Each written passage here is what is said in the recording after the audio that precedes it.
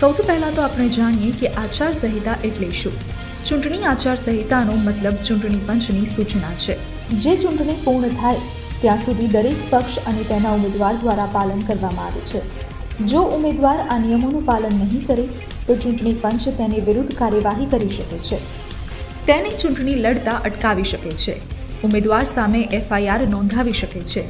અને જો તે દોષી સાબિત થાય તો તેને જેલમાં પણ જવું પડે છે. ચૂંટણી માટે દેશભરમાં સરકાર અને વહીવટીતંત્રએ અનેક નિયંત્રણો પસાર કર્યા છે અને તેની સાથે આચારસંહિતા લાગુ કરવામાં આવે છે. ચૂંટણી પૂર્ણ થાય ત્યાં સુધી તે પક્ષના સભ્યો આચારસંહિતા લાગુ કરવી ફરજિયાત રહેતી હોય છે.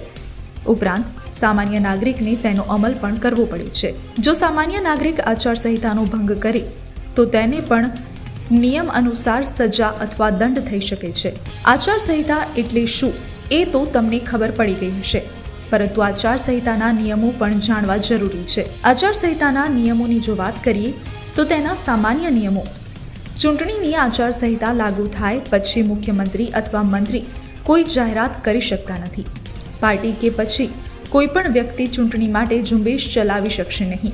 અને જમીનની પૂજા કરી શકશે નહીં. કોઈ પણ પક્ષ પ્રોગ્રામ કરે, તો પ્રોગ્રામની કિંમત સરકારી ખર્ચમાંથી લેવામાં આવતી નથી. કોઈ સરકારી ખર્ચે પ્રોત્સાહન આપી શકે નહીં.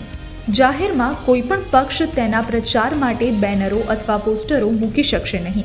કોઈ પક્ષ રાજકીય સ્થળે બેઠક કરી શકશે નહીં. સરકારી વાહનોનો ઉપયોગ ફક્ત ઘરેથી પ્રસ્થાન કરવા માટે જ થઈ શકે છે. ઘોષણાના નિયમો. પોલીસને રેલીનો સમય, સ્થળ અને રેલી ક્યાં કઈ જગ્યાએ થશે તે નક્કી કરવા દો. રેલીનું આયોજન એવી રીતે કરો કે ટ્રાફિકમાં કોઈ પણ સમસ્યા ન સર્જાય. જો કોઈ જ રાજકીય પક્ષ એક જ દિવસે સરઘસ સૂચવતો હોય, તો તેની પોલીસની જાણ કરવી જરૂરી છે. રેલી કે પ્રચારની પ્રક્રિયામાં કોઈ પણ ગેરકાયદેસર અથવા દારૂ ઉપયોગીની વસ્તુઓનો ઉપયોગ કરી શકાશે નહીં. રાજકીય બેઠકો માટેના નિયમો. સભાની માહિતી અને સ્થળ પોલીસ અધિકારીને જાણ કરવી જોઈએ. જો આ તમારી પ્રથમ બેઠક છે, તો લાઉડ સ્પીકરનો ઉપયોગ કરવાની પરવાનગી મેળવવી.